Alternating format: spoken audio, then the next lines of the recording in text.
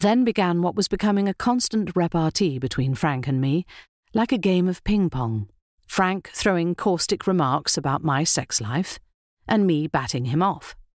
When are you going to jump on one of the guys, Pauline? Somewhat huffily, I muttered, Thank you for your concern, Frank, but my work is sufficient for now.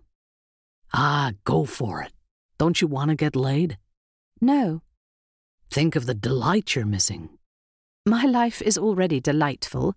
In any case, I like to be at least wrapped in the realms of love before sex will enter my head. You mean you believe in all those love lyrics that if you say, let's make love, that somehow purifies your actions more than if you say, let's go fuck? Come on now, what kind of wuzzy believes shit like that? Apparently I do, I said with my nose in the air. Christine, who was at the sink scraping a pan, said, I think deep down guys like girls to be virgins. Why? It doesn't matter to me. What difference does it make?